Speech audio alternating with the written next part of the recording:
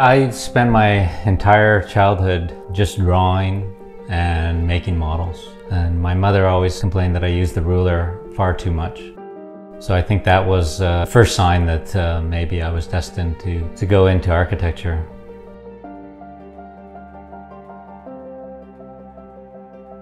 My name is Jack Kobayashi, and I'm an architect and urban planner based in Whitehorse, Yukon. We are modernists at heart, and I think that's why we look to Scandinavia for, for many of our references in design.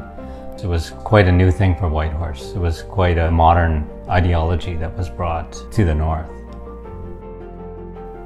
The north is, is a harsh place, it's a cold place. We spend at least 80% of our time in buildings. Buildings contribute about 30% uh, of the greenhouse gases in the world. Northern buildings contribute far more than their share of that.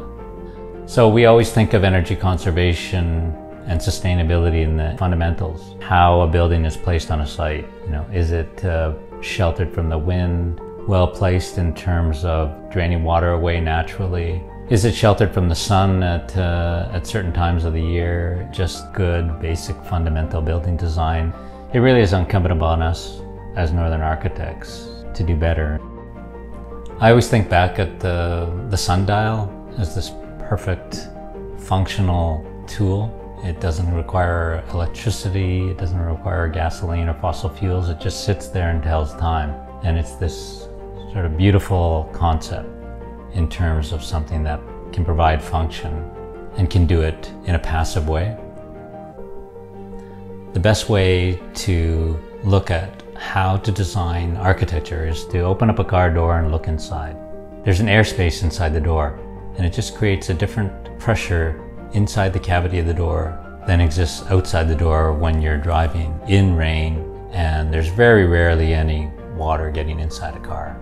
In the old days, we used to try and keep out the water from the outside.